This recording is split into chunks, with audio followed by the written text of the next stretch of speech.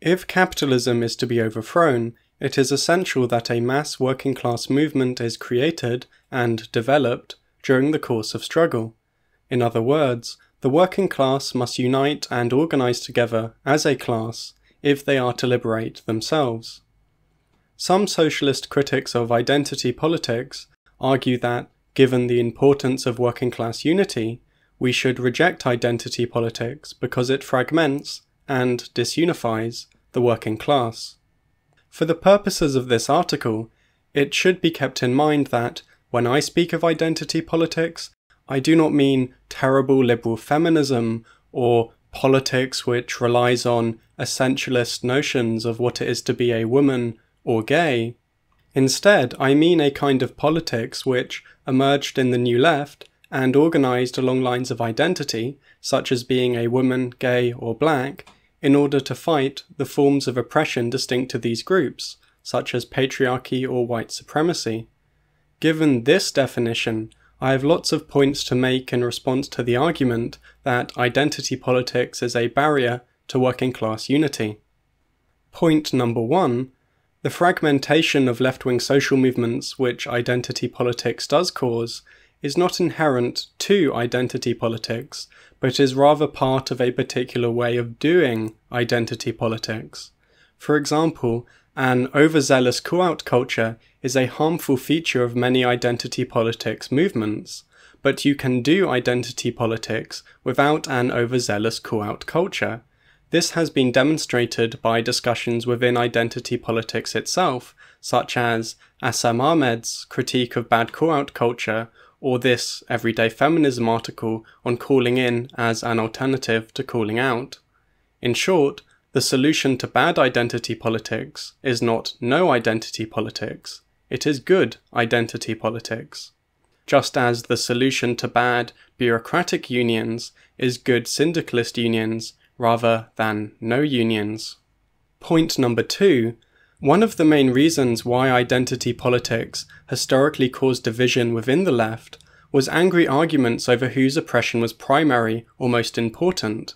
For example, radical feminists would claim that gender oppression is most important, while black nationalists would argue that racial oppression is most important.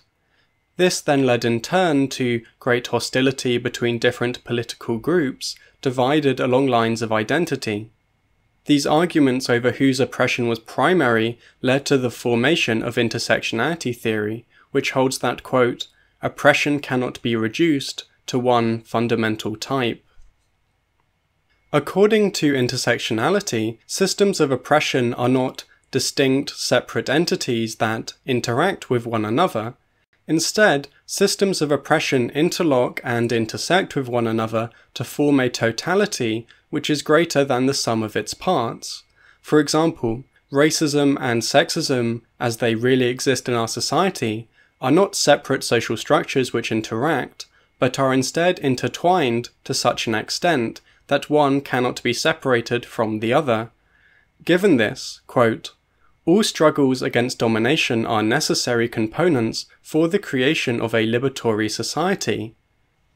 It is unnecessary to create a totem pole of importance out of social struggles, and suggest that some are primary while others are secondary or peripheral because of the complete ways that they intersect and inform one another. Point number three the formation of women only, or lesbian only, or black only, etc. groups do not, in and of themselves, fragment the left. Such groups can be formed but be part of wider organisations such as the IWW's African People's Caucus, or can form alliances and cooperate with other organisations and movements, such as the Black Panthers being a black only group but organising with other working class movements, or Black Lives Matter organising with Fight for 15. Point number four if you are concerned with the fragmentation of left wing social movements, then there is a lot more to be concerned about than identity politics. Historically, the primary driver of fragmentation within the left has been tactical disputes, such as those between anti state socialists and state socialists, and different splits within left wing organisations. The history of the UK left in the 20th century, for example, is a history of a huge number of splits within communist parties, which has led to the formation of a myriad of organisations who have almost exactly the same name and spend most of their time arguing with one another. Despite this history, I do not see socialist critics of identity politics arguing that Trotskyism or Maoism fragments the working class and so should be rejected. Point number five capitalism is not the only oppressive structure. We live in a society which is patriarchal, racist, queerphobic, and ableist.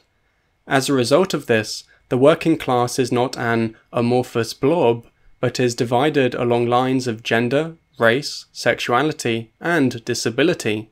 These divisions are not merely the product of the capitalist class dividing the working class.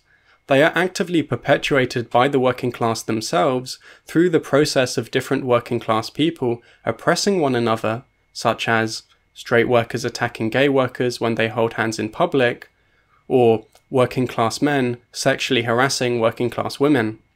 These structures of domination in turn produce identities among the oppressed and link these identities to negative self conceptions, such as racism producing the notion of black identity and the notion that black skin is unattractive, or that black people are inherently criminal. In reaction to this, oppressed groups construct positive notions of group identity, such as black is beautiful or black girl magic, and through doing so, unlearn the internalization of their oppression. People not subject to systemic oppression on the basis of their gender, race, sexuality, or ability often do not understand the importance of these positive group identities because they have not gone through their life being othered and oppressed on the basis of these features.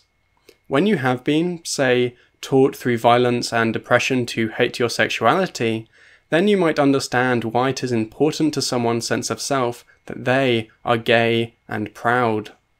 Given this reality, Working class unity cannot take the form of differences of gender, sexuality, race, and ability being ignored. Most obviously, if we ignore these differences, then we are not in a position to understand oppressive behaviour that occurs within the left or society at large. We will merely see one human being oppressing another human being, and thereby ignore the more important reality of a man oppressing a woman, and thereby perpetuating patriarchy. Furthermore, ignoring the distinctiveness of marginalized groups because we are all human beings does not, under present conditions, result in a humanistic utopia. It results in cis or straight or white or male people presenting themselves as the default human being or worker, and so mistaking their experiences, interests, and outlooks for universally human or working class experiences, interests, and outlooks. If we are to abolish patriarchy, racism, queerphobia, and ableism, then we must acknowledge and prioritize the distinct experiences, outlooks, and interests of marginalized groups, rather than assuming that cis, straight, white, or male people speak for the whole of the human family or the whole of the working class. This is a lesson which much of feminism has already learned, the reason why so much contemporary feminism emphasizes multiple forms of oppression is that, historically, the feminist movement had a tendency to equate womanhood with the particular experiences, outlooks, and identities of middle class cis straight white women. For example, in her book The Feminine Mystique, Betty Friedan, quote, made her plight and the plight of white women like herself synonymous with a condition affecting all American women. Her famous phrase, the problem that has no name, does not, as it is often alleged, describe the condition of all women in this society, but instead refers, quote, to the plight of a select group of college educated, middle and upper class, married white women, housewives bored with leisure, with the home, with children, with buying products, who wanted more out of life. If feminism has been attempting to be inclusive to differences of class, race, gender, and sexuality within a women's movement, then socialism must likewise attempt to be inclusive to such differences within a workers' movement. Point number six. Socialist critics of identity politics should be wary of confusing unity with silencing and sidelining. In practice, what is often considered to be working class unity is in fact cis straight white men running the show and claiming to be acting in the interests of the working class, while at the same time oppressing women, people of colour, queers, and the disabled. This false unity is then viewed as the default setting, and resistance to this state of affairs is labelled as divisive and a breakdown of unity. To see things this way is to take the point of view of the oppressor, such as a cis man viewing the creation of women only spaces as exclusionary and divisive, when of course, from the point of view of women, it is cis men claiming that women only spaces are sexist, which causes division. In other words, a key source of division on the left is marginalized people being oppressed in the spaces which should be fighting for their liberation. It is therefore bizarre that socialists who are critical of identity politics spend far more time attacking identity politics than the sexism, racism, ableism, and queerphobia which permeates the left.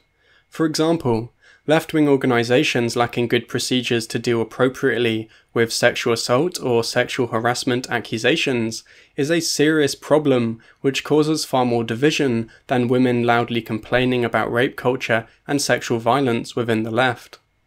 Point number seven the left will not be able to build a truly mass working class movement without the participation of women, people of colour, queers, and the disabled. Therefore, the left must ensure that its practices are inclusive and do not push away people from these groups. After all, women, for example, will not remain active within socialist organizations if they consistently experience sexism within these organizations or have their emancipatory goals dismissed as unimportant. Unsurprisingly, one of the main reasons behind the formation of women only, or lesbian only, or black only political groups, which are separate from the wider left, has and continues to be experiences of oppression and exclusion within left wing organizations and movements. Given this, one of the main factors fragmenting left wing movements is A. The existence of patriarchy, racism, ableism, and queerphobia within the left in particular, and society in general, and B the failure of left wing movements to take these forms of oppression seriously. Therefore, if one was concerned with preventing the fragmentation of the left, one's primary concern would be working to end oppression within left wing movements themselves and ensuring that left wing movements place importance on the emancipation of all of humanity from all structures of domination. Doing so creates a situation in which marginalized groups feel included and are therefore far less likely to leave movements or organizations due to experiences of oppression and marginalization. Point number 8. Throughout this piece, I have been arguing for the importance of constructing a unity which respects difference. I think this notion has already been beautifully expressed by the Martinican poet Aimé Césaire in his 1956 resignation letter to the French Communist Party. He wrote, quote, I am not burying myself in a narrow particularism, but neither do I want to lose myself in an emaciated universalism. There are two ways to lose oneself walled segregation in the particular, or dilution in the universal. My conception of the universal is that of a universal enriched by all that is particular, a universal enriched by every particular, the deepening and coexistence of all particulars. I couldn't have put it better myself.